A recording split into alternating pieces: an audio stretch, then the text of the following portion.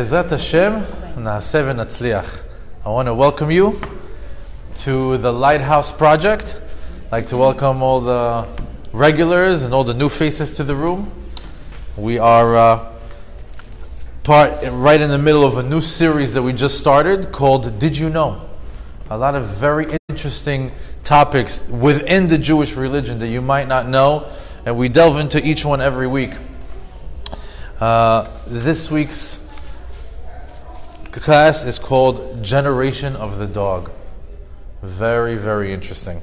Before we get started on our class, we'd like to give an honorable mention to our sponsors. We have a nightly co sponsor, Sarah Shulevitz, who is doing this in honor of doing this for Shidduch and children for Sarah Baila Bat Penina and Aliza Aidel Bat Sarah, health and long life for Rabbi Shalom Ben Yafa Shindol, Penina Bat Chaya Ethel, and Aliza Basrocho, and for the Refuah Shelema of Menachem Mendel Ben Sarah Batia and Devorah Figa Bat Rezo.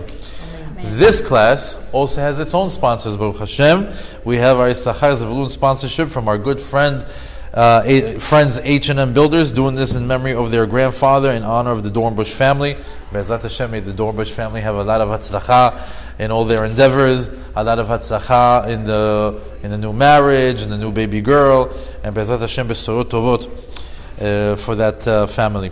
Also, for a very good friend, a righteous woman from the East Coast, uh, we have Miss Esther Bouton, who is doing this in honor of her sons, Yonatan, Michael, Eliyahu, and Shalom Ben Esther. Be'ezat Hashem, that the entire family has a big spiritual elevation, a lot of simcha and happiness, and that they uh, merit to have a big, big yeshuot. Also, we have Anonymous doing this Leilu Nishmat Aryeh Ben Yoshua Zichronon Livracha, and in honor of Shlomo Dvor Ben Chayesar on his 80th birthday. Chazak Baruch. May you continue to have Arichat Yamim. Amen. Amazing to see Jewish people supporting Torah, supporting classes, being part of it, making it happen for us to be here. And as we are here, you can see that we're sitting around the table, you should know hundreds, sometimes thousands are watching these classes online. So it's a great thing, uh, the lighthouse of what we have going on over here. Okay, let's get started. The generation of the dog. Tonight, we're going to take, yes, please. Tonight, we're going to take a closer look at the dog. We're going to look into the history of the dog. And all is going to be through the eyes of the Torah, Chazal, and their Midrashim, and the Talmud. And we will answer questions like What are the best and worst qualities that the dogs have? Who was the first dog owner in history? What did the Egyptians' dogs do that changed the fate of all dogs throughout history? What is an Anubis?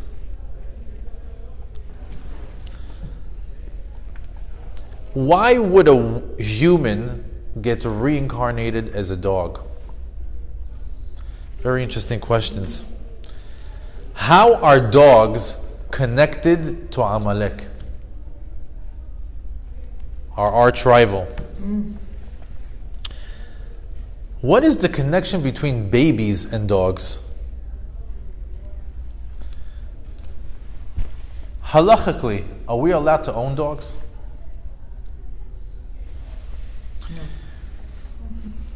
And why have do- dogs become so popular with women lately? What is this trend of women and little puppies? And why is this generation called the generation of the dog? These are all questions that we're going to answer tonight, all very, very interesting.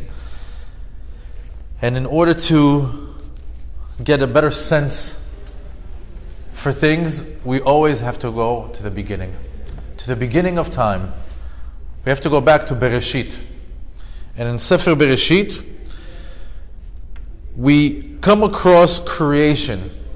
Adam Harishon and the creation of all the world and all the animals that live within it.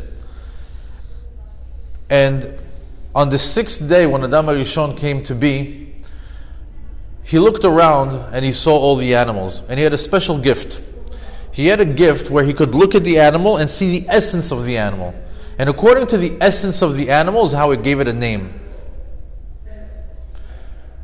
If you look in uh, in the Jewish words, in the I'm sorry, in the Hebrew words for animals, they all have a meaning. A dog in Hebrew is called kelev. Why? Chazal tell us because kulo lev. He's all heart. That's why he's called a kelev.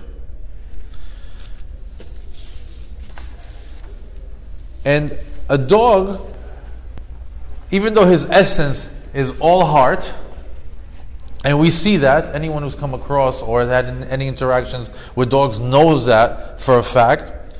But a dog has different characteristics. Some that are positive, some that are negative. Some that are good, and some that are terrible. Some of the good characteristics of a dog is that they're very loyal, they're very faithful, they're very friendly, they're very social, they're very playful, they're also very useful. We know that dogs can be used to sniff out cancer, sniff out bombs, sniff out uh, drugs in airports. Many service dogs have saved many lives. They're also very therapeutic.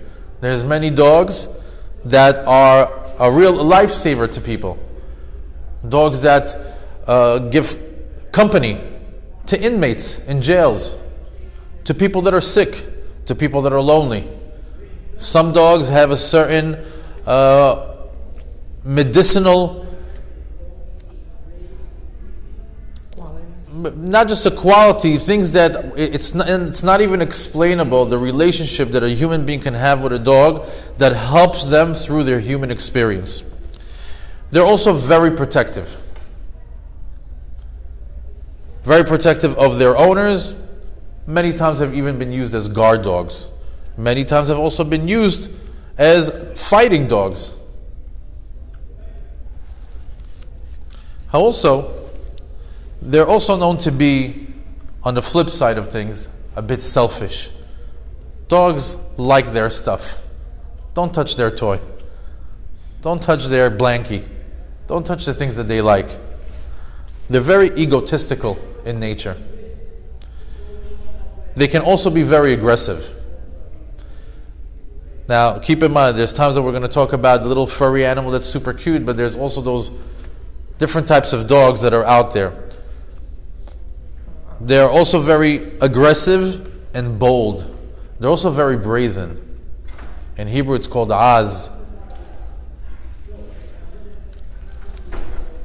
They're also ruled by their desires. Dogs don't like to share their food, and they're also engulfed by their desires. They have an insatiable appetite. Dogs can always eat more. And they also always have a desire to mate. And we will see the root for that later on in the class. And they also have a very interesting uh, character trait where they're overprotective of their masters but hate other animals. Dogs, for many years, have been a street animal. Just recently, well, they've been a street animal with just a few breeds that have been domesticated. We've seen in history that dogs have, even, have even been in, in castles and been uh, kings and queens uh, sitting on kings and queens' laps. But recently,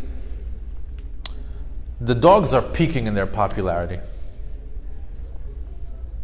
A dog's life is not that bad anymore. Dogs have it good nowadays, more than ever before. They have gourmet food, special homes with air conditioning. Rarely, you don't see them roaming the streets unless it's a third world country. Have special pillows, sweaters, hats, boots. They have a doggy sitter, a doggy stroller. They have veterinarians that take care of them. They have humans picking up their poop. And they're even being pampered like humans. Never before, never before has a dog had it this good. They've even become a fashion accessory. You see the rich and famous toting around their little teacup puppies. And girls everywhere around the world are now obsessed with dogs. Small dogs, teacup dogs. What is this obsession? Where does it stem from?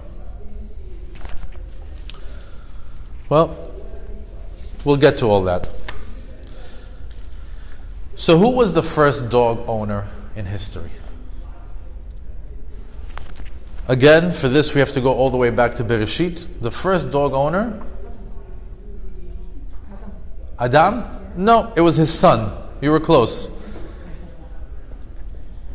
Adam had two kids, Cain and Hevel. Hevel was a sheep herder and he had a dog. פרקי דרבי אליעזר says, הכלב שהיה משמר צונו של הבל, הוא היה משמרו מחיית השדה ומעוף השמיים. He says that Hevel used to first have a dog that used to help him with the sheep herding, but would also protect him from the wild beasts in the field and dangerous birds. Ironically, after Cain kills Heaven, I'm sorry, kills Hevel, we get into another story that involves a dog. It says that Cain got a special ot from God, a special sign, symbol, or a letter from God after ki- killing uh, Hevel. I'll give you the story. Cain and Hevel are fighting. Hevel is winning. He's on top. Cain does the classic, oh no, no, let me go, let me go. I'll stop. As Hevel lets up, Cain grabs a rock and hits him over the head and kills him. The Gemara goes through it a little bit more that says he stabbed him about 30 times or bit him about 30 times because he didn't know which way the soul comes out. But he killed him. After he killed him, he did teshuvah. He says, God, forgive me. I didn't know what I was doing.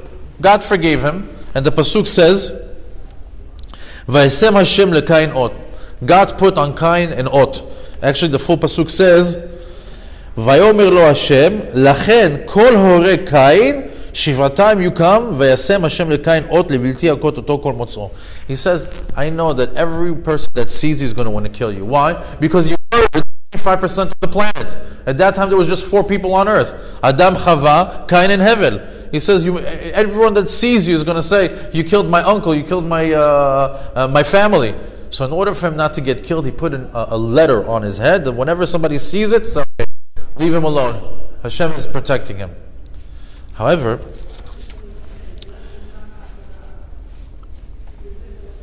Chazal tell us that that ot, that symbol, was not a letter. It was actually a dog. God gave him a dog to walk in front of him to protect him, but also to learn from him. Why? Because the dog was a symbol, a sign that he can learn from. A sign where he can learn from the dog loyalty, that he can learn from him faithfulness. God put a dog in front of him so he could learn the characteristics that he was missing with his, in the fiber of his being with his relationship with his brother. You were losing. Your brother was winning. You're ingrate. You kill your brother? Who can teach you better how to have loyalty and faithfulness and uh, unconditional. and unconditional love like a dog? So Cain walked with a dog to learn how to not to be an ingrate. That was the ot that Hashem put in front of him. As we fast forward through Sefer Bereshit, we come, through, come across another sheep herder, Yaakov Avinu. Yaakov Avinu, we know, was also a sheep herder. At the time when he worked with Lavan, after, uh, after he worked with Lavan, he went off on his own. Later on, when he was in Mitzrayim, he had, they gave them, uh, they gave the Jews, the Egyptians gave the Jews the, the plot of land called Goshen. Why? Because fertile for uh, grazing for the animals. Hazal tell us that the Yaakov Avinu had 6,000 dogs, and, and another Midrash says 600,000 dogs. Could you imagine? Because he had so much flock. Now, when they were living in Goshen, because of the fertile land for the grazing of the livestock, they were a welcomed guest in Egypt. However, after the death of Yosef and the rise of the evil Paro, the Jews were turned from a welcomed guest to a slaved, an enslaved nation for 210 years.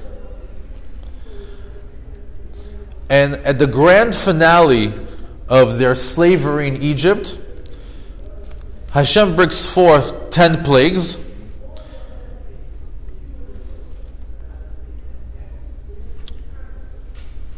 And when the Jews are supposed to leave Egypt on the tenth plague of Makat Bechorot, Me'am Loez brings a beautiful story involving dogs. He says Egypt was set up in a way where, in order to enter the middle of the city, there was all gates all around. If you remember, the 12 Shevatim all came through a separate gate. So the city was set up like that. And on each gate, they had an image of an animal a cat, a bird, a dog, a monkey. Each gate had a different image or a different statue of an animal. And we know that Egypt took nine tenths of the wizardry and sorcery of the world. All the kishuf of the world, nine tenths, 90% of it was in Egypt. 10% was everywhere else. So we know that Paro had the uh, Khartoumim, and these Khartoumim were wizards. They knew how to use black magic. And what they did is they implemented a special alarm system for Egypt. And the way that this alarm system worked is that anytime somebody tried to uh, escape from Mitzrayim, according to which gate they came out of, that particular animal would come alive so, for example, if it was a bird, that bird would come alive and every bird in Egypt would start to make noise. And then everybody would know that somebody's trying to escape through that particular gate. You know, when the Jewish people went to Mitzrayim, in the end of Sefer Bereshit, says they went to Mitzrayim Ma. Mitzrayim Ma, Mem, on the bottom is open a little bit, and the hay on the end is open a little bit. That means it was you can come in and you can get out. In Sefer Shemot doesn't say Mitzrayim. It says Mitzrayim. Why Mitzrayim? The mem is open. You can come in. Mem Sofit is closed. There's, there's no getting out. So when they were in Mitzrayim and they couldn't get out, anytime somebody would leave, they needed this alarm system, especially when they have hundreds and hundreds and thousands of Jews that are slaves. Each one is valuable free labor. So on this particular night,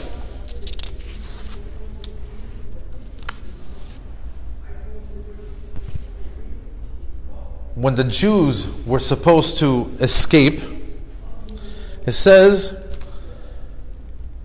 that the Jews exited from the gate of the dog, and not one dog barked.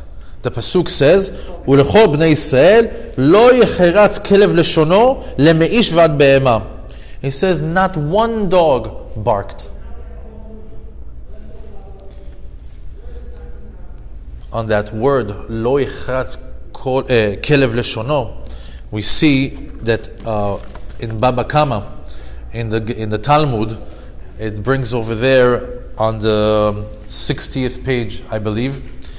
It says when a dog is barking at night, Malach Mavet is coming. When you hear dogs laughing, Eliyahu Navi is in the neighborhood. so on Makat Bechorot, who's in town? The Grim Reaper, the angel of death. The devil himself is coming around to kill. What should the dogs do? They should bark. They didn't. The alarm system from the witchcraft. They should all bark. They're all leaving from this gate. They didn't. So it says,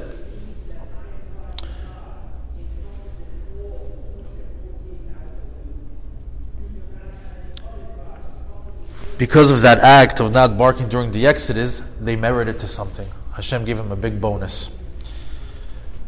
They merited to, I'll read this from uh, directly, ואנשי קודש תהיון לי, ובשר בשדה טרפה לא תאכלו, לכלב תשליכון אותו. We have a special thing. Anytime a piece of meat becomes categorized as trefa, and we're not allowed to have it, we're supposed to take it and give it to the dog. Which is a huge gift. Since for the dog, the meal are far and scarce in between. Don't forget, it's a street animal. There's not always food in the street. We're not talking about the dogs of today. As a matter of fact, God created the dog with chesed. Did you know that a dog can hold his food for three days?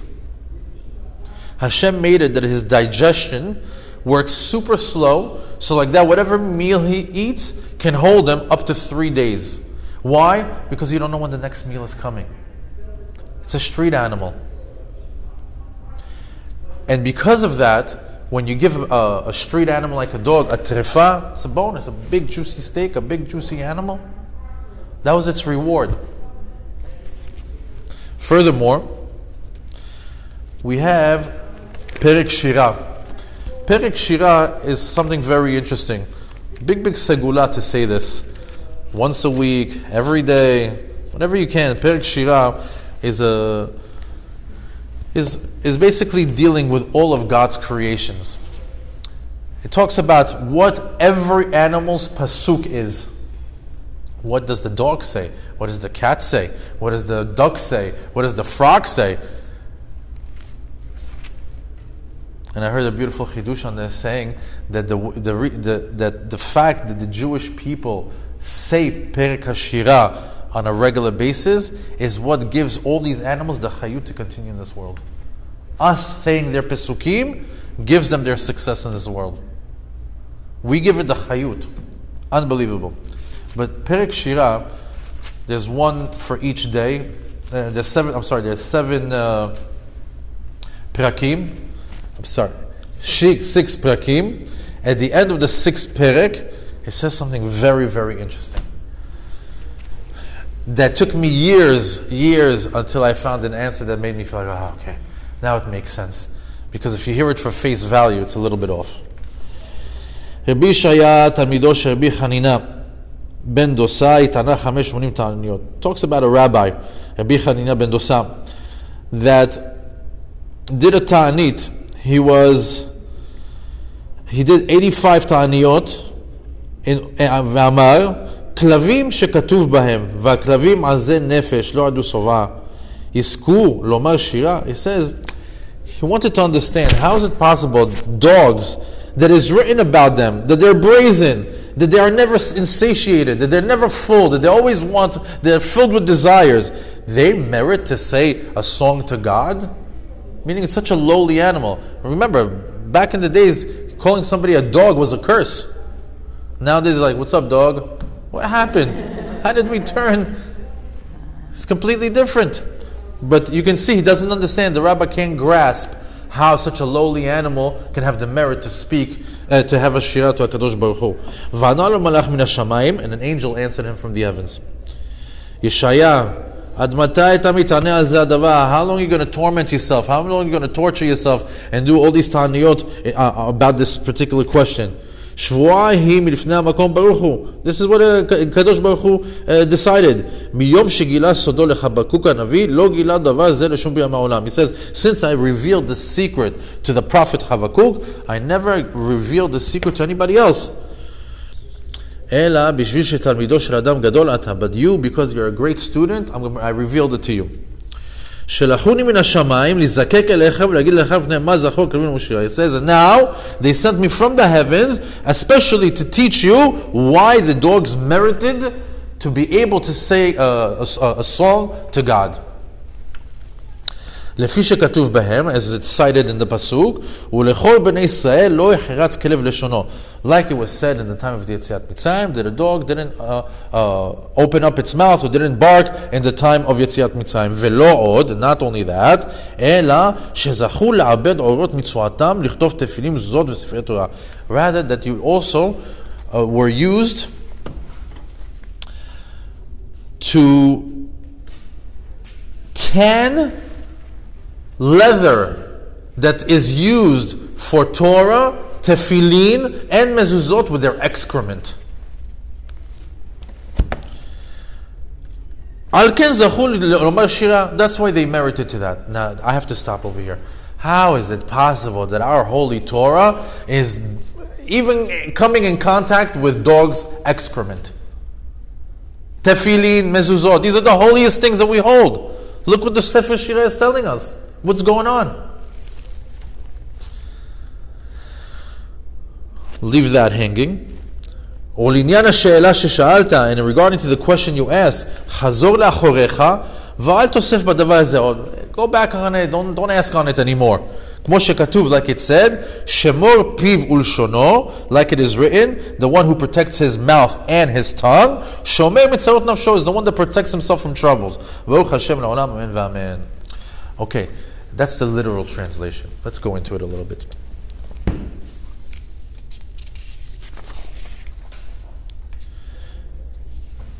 First question.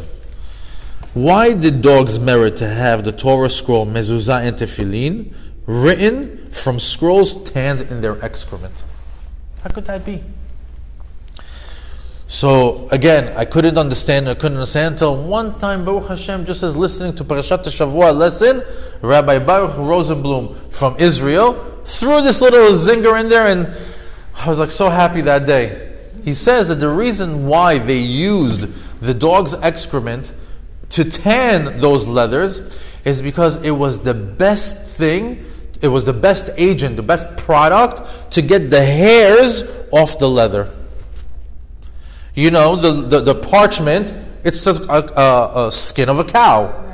That's where we get our mezuzot. It's parchment. Parchment is the skin of an animal. And an animal has hairs on it. And the best thing, like today, we would have, uh, I don't know, nair. What do the ladies use to get the hair off? They would maybe use that. Nowadays, back in the days, there was nothing better than dog excrement that he would put it right on it and it would take it off. Said, but you know what? That's very, very interesting. But the next, the last time that I heard about something that is connected to the bathroom and is connected to kedusha is something that we say every day in our tefillah in the ketoret. In the ketoret, it says, this is also very, very interesting.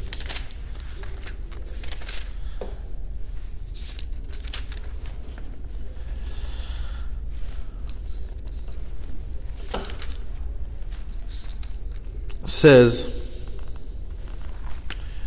Rabban Shimon Gamliel says we were bringing, he were talking about the samamanim, all the different uh, incense offering, all the different parts to it, and they're saying, why did we bring this, and why did we use that, and how do we apply this, and why, you know, how did we bring? They, they talk about each part of it. It's a whole Gemara. In order not to go into the whole thing, I'm just going to go into one part that says.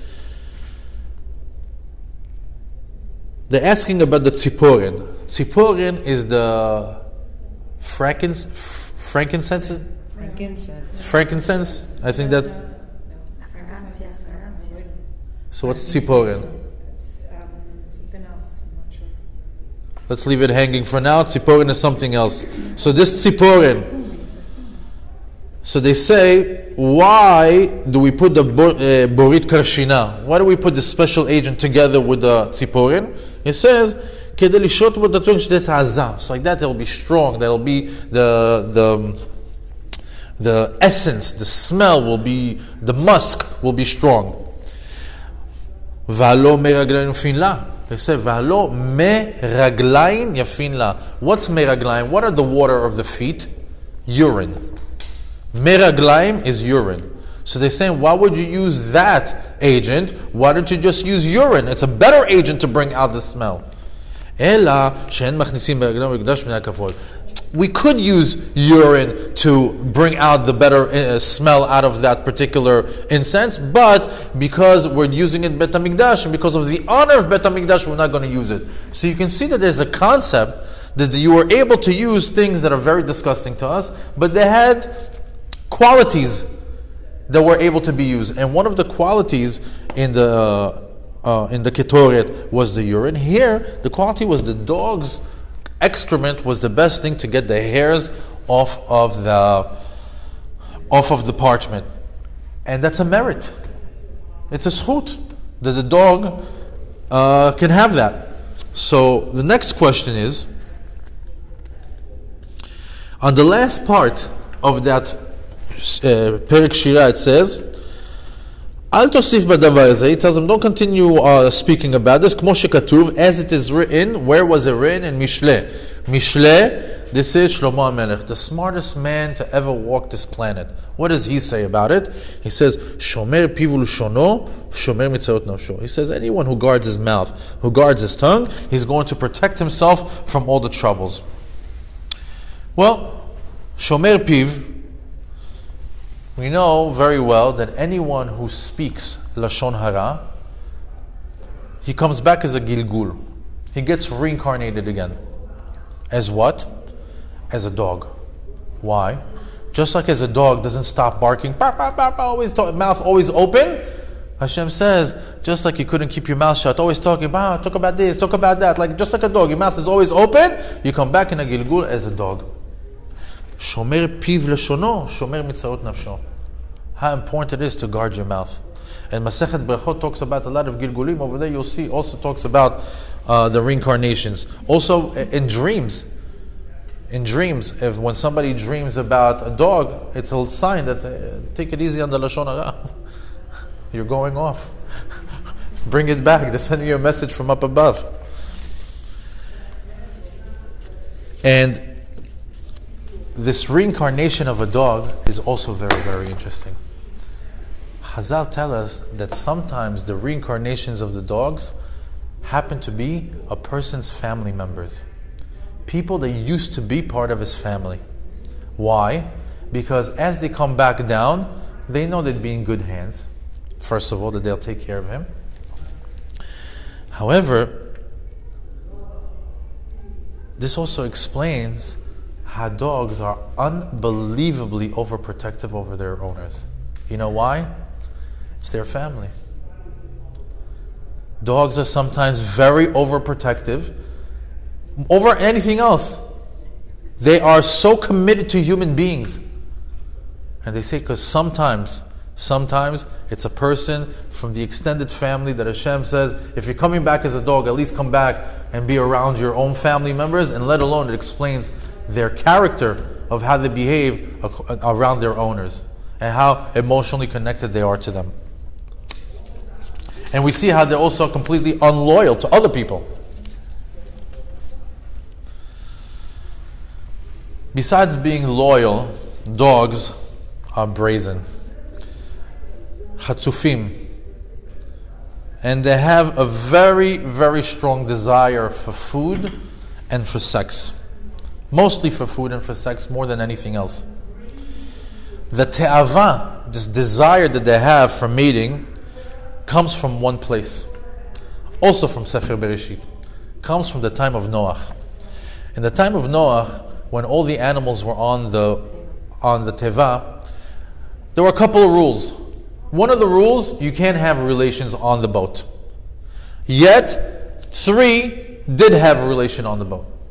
One is the raven, two is the dog, And the third one is Cham, which is Noah's son. Son had uh, Noach had Cham, Shem, Veyafet. Cham had relations. One day I'll tell you that the deeper story to that. That's why he turned back. That's besides that. It goes deeper, deeper and deeper and deeper. So now, dogs, if you don't know this, get locked up during relations. When dogs mate, they don't. Once the the the maaseh is done, they're stuck. They can't separate, and it's a curse. That's one of the curses that he got from that time, because the curse is that they are locked that they are locked up like that during relations, and when they are not in relations, they are locked up by humans. That they put a leash on them. It's one of the few animals that throughout history has been always on a leash by a human being.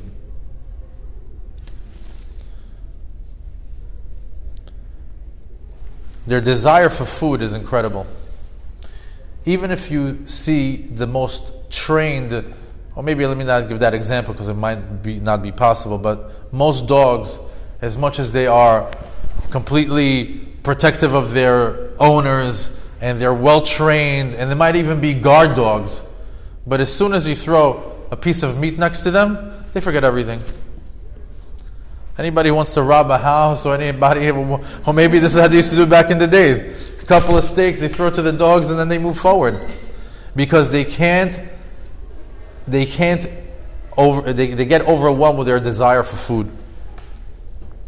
As a matter of fact, kelev chozer al keato. A dog can actually throw up, and after he throws up, he goes back and eats it. That's his desire for food. Anybody who's been a dog owner here would know this. That's how, how much their te'ava is for food.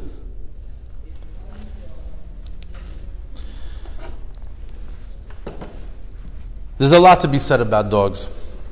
But here, here's a bunch of Jews talking about dogs.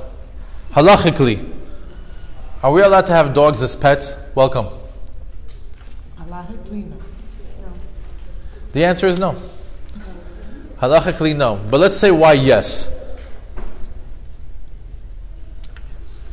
As a matter of fact, you are allowed to have a dog as a pet, but it's conditional. As long as. As long as you're using it for guarding purposes, as long as it has its own space, and as long as it's tied up. And we're not talking about all the other things for medical reasons, for service dogs. Those are 100% allowed. You can even bring a dog into a shul uh, if somebody needs it. We're not talking about those things. Just this whole concept of dog as a pet, it's a Goyish concept. It's never been a Jewish. I mean, we see a lot of Jews that have dogs now, but throughout history, it wasn't very common. And we'll go into it a little bit deeper to see why. And when it comes to getting a dog for therapy or for emotional uh, comfort, for that you have to see a rabbi. You have to see if the rabbi can see that it's really something real or you're just using that as a crutch. But as to have a dog as a pet, halachically to know. The Talmud says, now I want you to know, I've been a dog owner. I love dogs. And reading this, I just I'm just learning how to be a Jew. That's all I can tell you. לא יגדל אדם, I'm sorry, the Talmud says, לא יגדל אדם את הכלב, אלא אם כן היה קשור בשלשלת. Rule number one, if you are going to raise a dog, you got to put him on a leash. Going back to his punishment from Noach.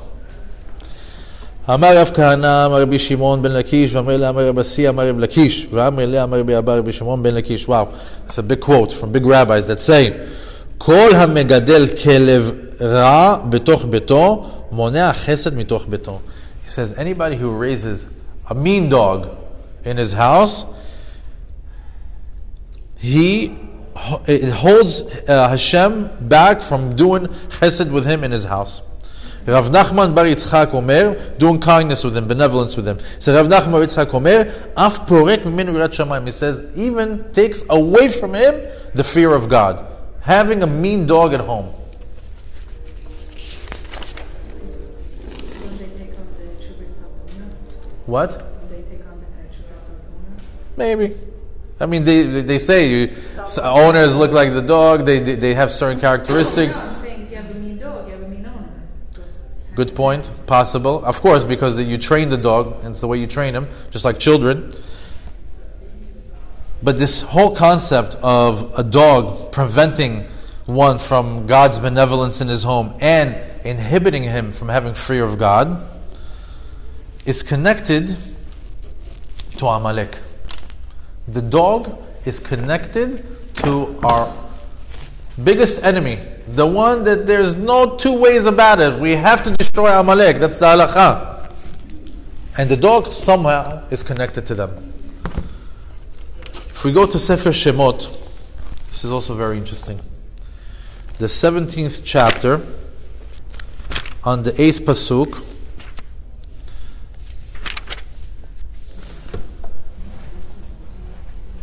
there's a famous pasuk and the famous Rashi, but today we're going to learn it out with the theme of the dog. This is right after the Jewish people left Egypt. They are no longer slaves.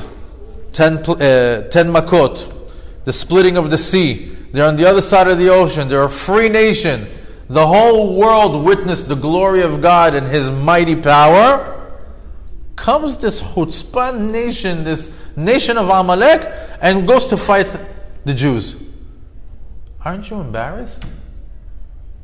Don't you know that the God of the Jews, Hashem, the creator of the world, just saved the Jewish people? You can go fight them? Aren't you scared you're going to die? No. They were brazen. They did it. They said, "Well, we know we're going to die. We know we're going to die." But Rashi explains it beautifully with a mashal. Look what he says. says, why do we read this particular section over here to the to Yetziat Mitzrayim? So the rab, uh, so he, he gives a story.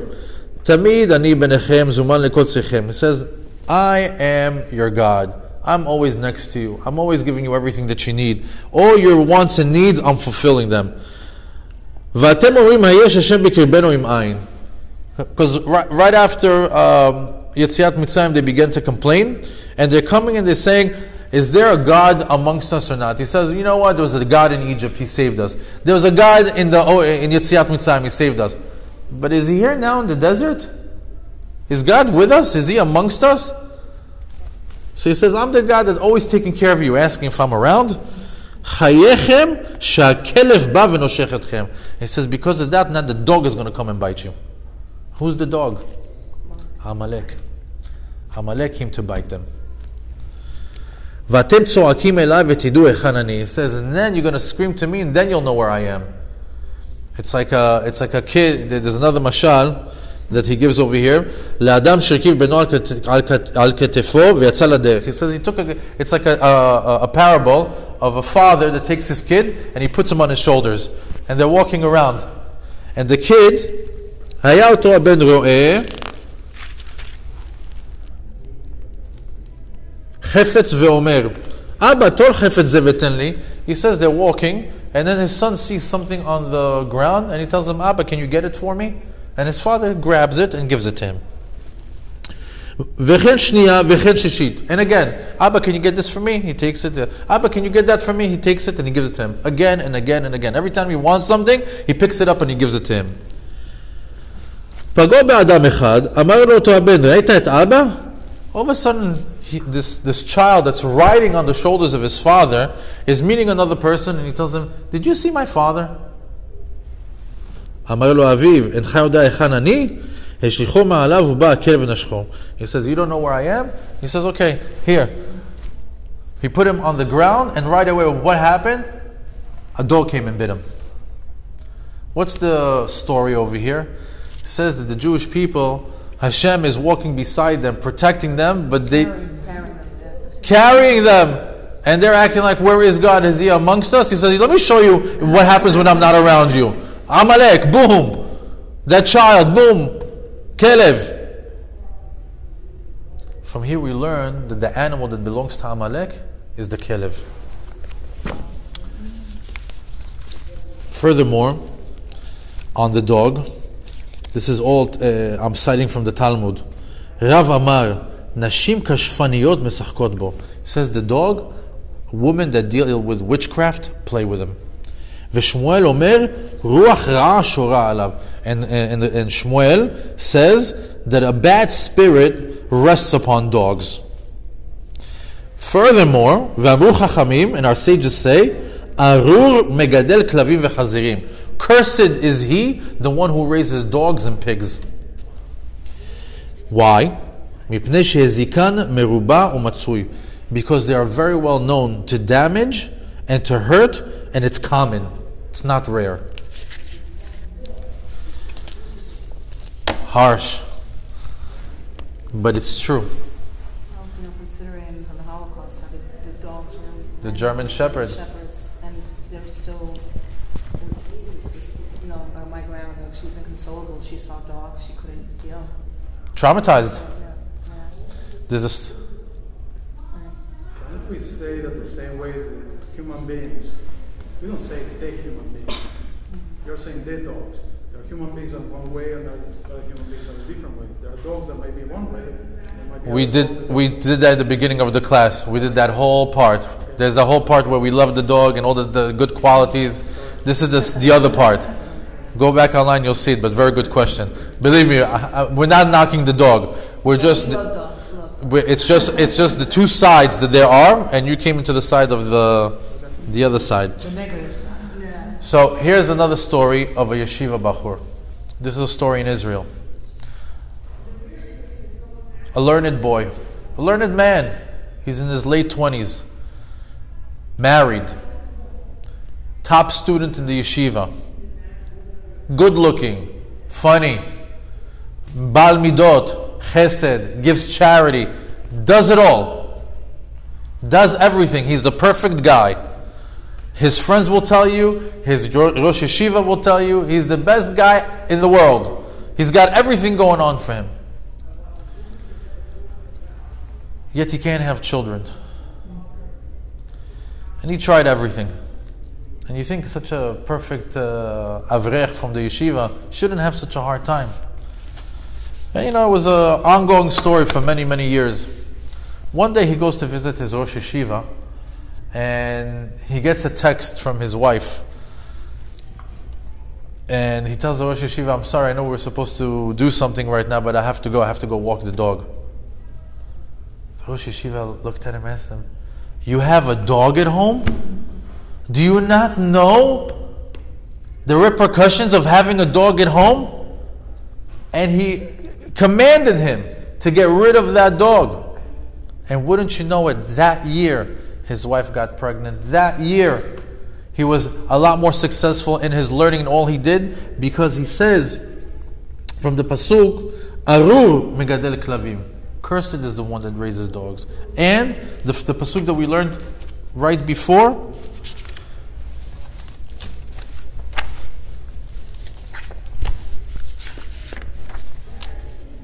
לא יגדל אדם את הכלב אלא אם יקנה קשור בשלשלת. We see, no, that's not the pasuk I was looking for. Ah, רוח רעה שורה עליו. There's a bad spirit that lies on dogs. Now, you see that she got pregnant from not having a dog. Let's talk about why have dogs become so popular with women lately. This is You're very close. You're very, very close. Wow. But I'm going to. Without, without uh, any ex- extra, whatever you call it. Well, let me give you uh, a Torah learning. T- Let's learn it out uh, through the Torah. So the kelev, we know, is the animal that is kulo lev. He is all heart. What is the numerical value of the word kelev? Let's do it. Chaf is 20, Lamed is 30, Bet is 2. Altogether, 52. Two times twice. No. what is the gematria of the word ben, which is a child? Bet is 2, noon is 50, 52. 52 Kelev, 52 Ben. Anytime that the gematria is similar, know that there's a correlation between the two, that there's a connection between the two. There's a connection between Kelev and Ben. Now, the women of this generation have replaced their desire for companionship, their desire for children, in dogs. Nowadays, when you're 20, 22, 23, 24, 25, that's the right time, get married. But today, 40 became the new 20. So, what happens? In those 20 years while you're touring the world and you're partying and you're having a good time and you're vacationing and you're just eat, eating up life, right? You're missing out on the reason why you came into this world, which was to procreate. The mitzvah is puravu. The first one is to get married and have children. So as long as you're not doing that, there's a void. There's a void right in the middle of your chest of, that a man feels and a woman feels. A void that you don't have, uh, that you're not married or that you don't have children. And because you have that void, what's going to fill it up? What's going to fill it up? So, we take a dog that is kulo lev, that gives you all the love and doesn't talk back, that gives you all the emotion that you want, that will sit for you, that will, when you open up the door, will wag its tail for you, will give you all the emotion that you want, whether you're a man or a woman, without the hassle, and it fills that void. And for women, that as they get older, you see that they, whether they know it or they don't know it, subconsciously they know they need to have a child. What did they do? They get a puppy. And now they've quieted down. They've quieted down that, that buzz in their mind. Where's the child? Why? Because they're receiving love. They're getting satisfied. They're getting their emotional uh, uh, filled with the dog over there. So we can see that the gematria of Ben is exactly the gematria of Kelev. But I'm going to prove it to you scientifically. This is going to blow your mind. New research shows that when a canine, meaning when a dog, stares into the eyes of a human being, they activate the same hormonal response that bonds us to human infants.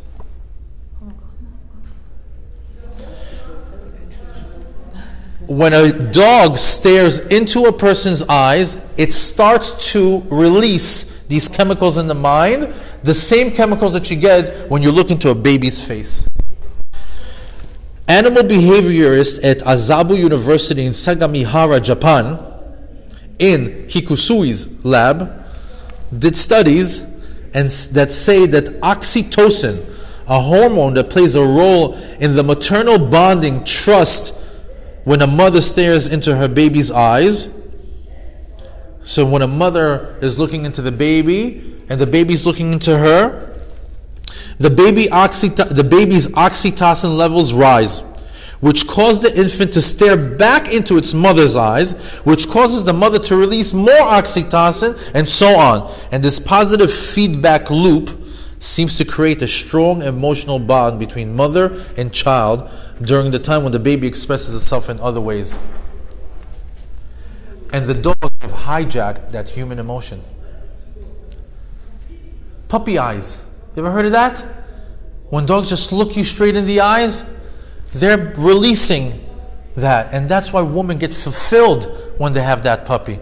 Because they feel like there's a baby in their hand. Because it it is a baby, it's a baby that never And they grows talk to it like a A baby. dog Yes. a baby that never grows. Yes. That's exactly what it feels like. You have to intuit, and it looks at you just like a baby. That's what it is. That's what we're learning out over here. Yeah. Some, some of them.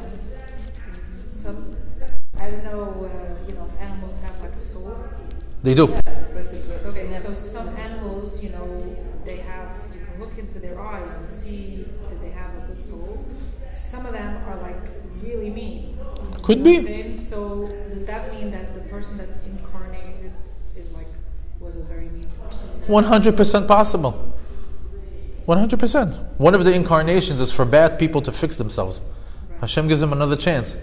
He, he drops them a level in order to fulfill the tikkun so they can come back up a level and, and, and graduate to their, to, to their ultimate tikkun, which is to bring back the neshama the way that they brought it, or at least to a level where it can go through a cleansing process in Gehenom and then go to heaven. That's for another class.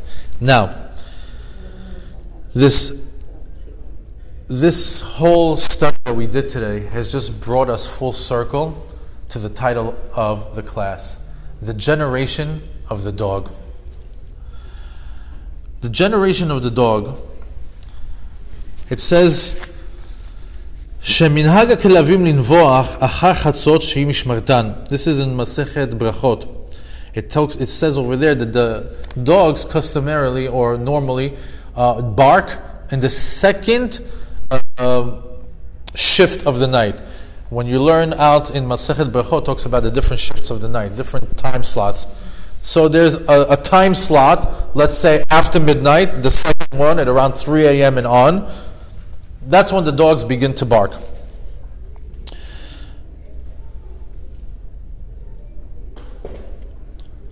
So, Achar Chatzot, after midnight, and the second Mishmeret is when the dogs begin to bark.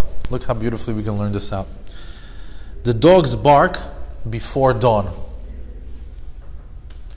What's the musar over here? What's the musar haskel? What can we learn out? Right now we're in darkness. When is the dawn? We're in the generation of the dog. This is it. This is it. We're at the end. So it's the darkest before before dawn. Mashiach is coming. Right? So they say that the klavim they bark when? Right before dawn. So why is this generation of the dog? What's this rise of the dog? Why do we go around calling each other, what's up, dog? Why are the dogs in strollers? Why do they have boots? Why do they have hats? Why all of a sudden dogs are such a, an item right now? Why? Because right before dawn, the dog comes into the picture. And you can see that right now, it's a prophecy coming true. What do you, when you're telling me Dor HaKelev, what do you mean Dor HaKelev? Is there any other generation before this one that the dog was such a high item? There were street animals. They would kick it. They would, it would be a curse to say you're a dog. The reason why dogs are part of our fiber of, of, of, of society, of life, and the way that they are, and they're, they're held at such high regard, is because it's their generation. It's the generation of the dog. And they say, Pnei Hador, Pnei HaKelev. The face of the, uh, uh, of the generation is, the, is reflecting of the face of the dogs, which means if you want to know what generation you are, we're in the generation of the dog. In that case, we have to analyze the dog.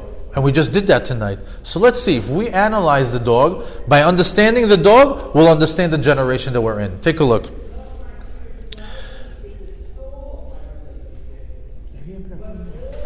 The dog, we said today, how are they treated today? On such high regard, they're better than people. I literally saw today, and you know, as I'm preparing this lesson for the dog, I'm like more high alert on dogs. The guys at the park jogging, and the dogs in a stroller. I saw a dog in Mexico dancing on two legs, dressed up. Uh, you see them um, You see them in the circus. apps, apps of you can you can invite somebody to your house to watch your dog. There's an app for that, or to wash them, or a doggy sitter, or a luxury doggy sitter. What they pay for one night is more than what I pay for my mortgage. It's unbelievable. However, what did we learn about the dog?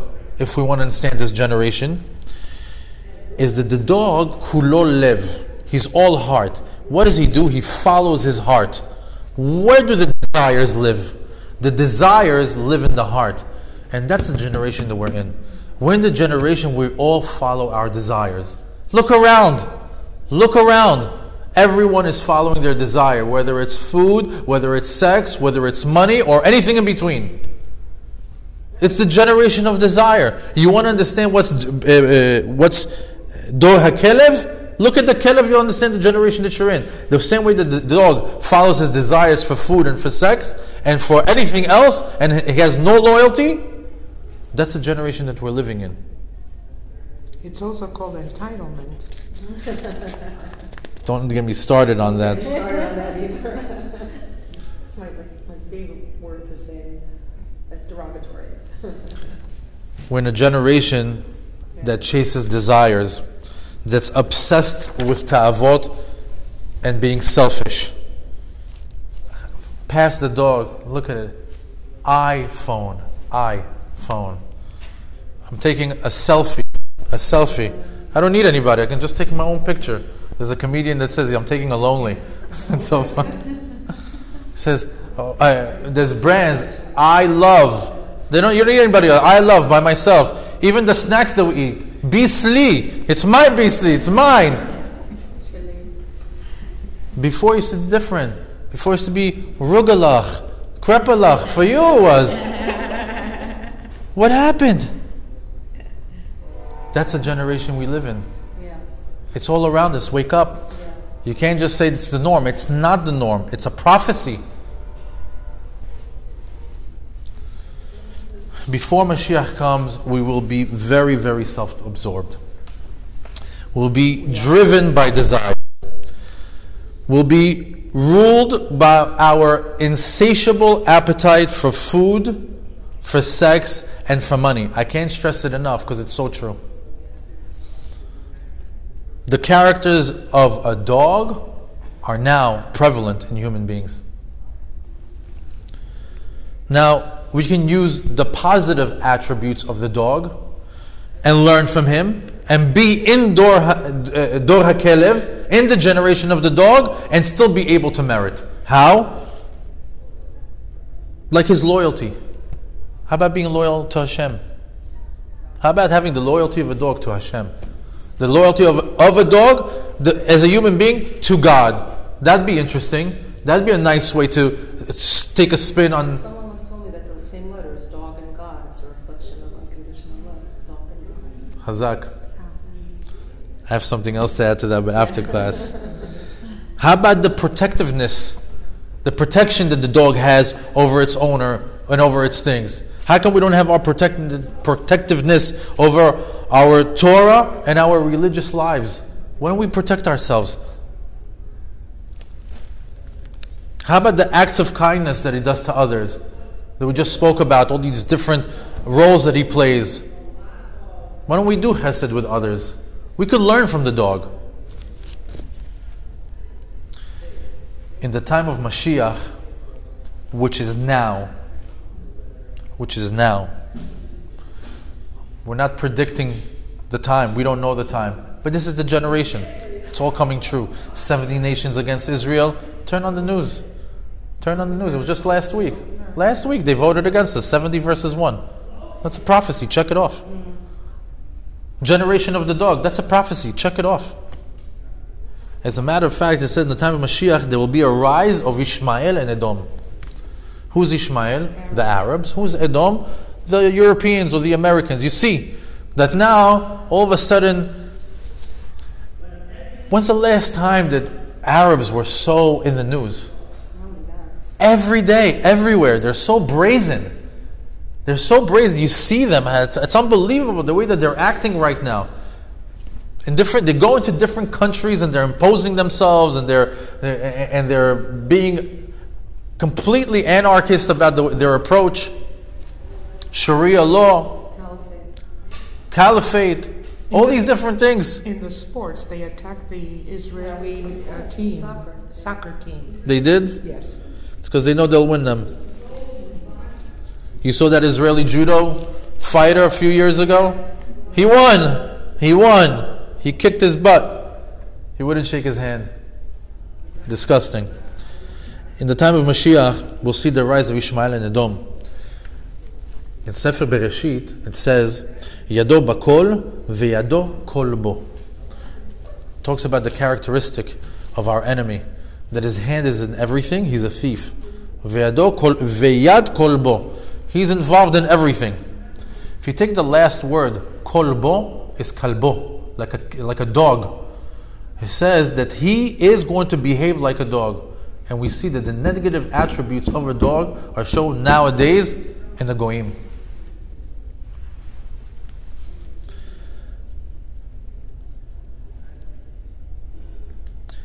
This klipa that is Amalek, that is embedded in the animal that is called the dog, is now showing in the people of the generation. It's showing in their character, and it's just a sign of Mashiach. The generation of the dog is a prophecy come true. So the next time you see a dog in boots, or a puppy with a manicure, or somebody, or a dog being pushed in a stroller, feel great. Mashiach is coming. שיטו לבכם לחילה, פסגו ומתן, למען תספרו דו אחרון של השם, ויך אתכם, שמח אתכם.